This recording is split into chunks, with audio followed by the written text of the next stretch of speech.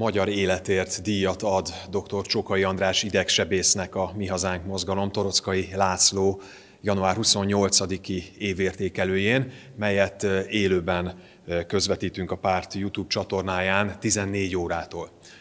Dr.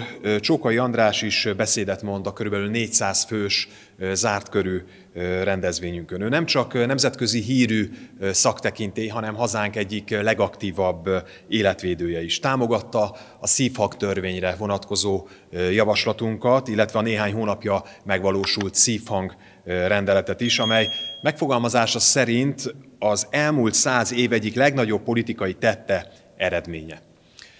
Fájó, de ki kell mondjam, hogy az abortusz a legnagyobb vezető halálok hazánkban, az úgynevezett családon belüli erőszak legelterjedtebb és legbrutálisabb formája, mely a legártatlanabb és legvédtelenebb emberek, azaz a magzatok ellen irányul.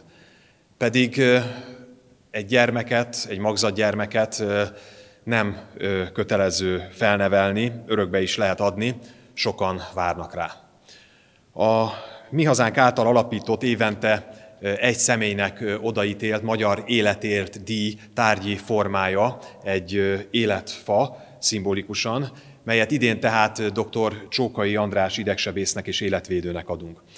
A mélyen megélt keresztény hitű dr. Csókai András életmentő munkájában a bevallása szerint felesége Altai Daniella nélkül semmire nem menne. Boldog családi életükben öt gyermeküket nevelték föl. Közös munkájuk nyomán sok család menekülhetett meg az abortusz okozta széthullástól is.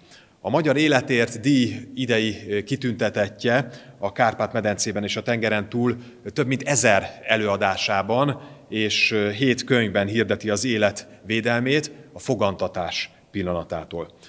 A Semmelweis Egyetemen 14 éve indított tantárgyat, itt Istenhit és orvostudomány címmel Kop Mária fogadta még akkori tanszékébe.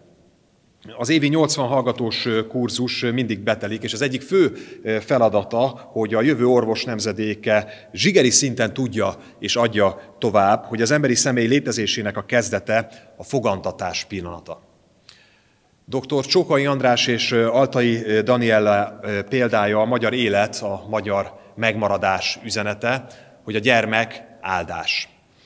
A szívhag rendeletet pedig bár sok liberális támadás éri, küzdelmünket folytatjuk tovább több civil aktivistával is, hiszen Például a Mi Hazánk mozgalom értelmiségi holdudvarából alapított Fekete István Szabad Egyetem egyik tavaszi előadója is lesz Situl Eszter, a Citizen Go magyarországi kampányigazgatója is. Szívhang, életvédelem, hogyan tovább címmel.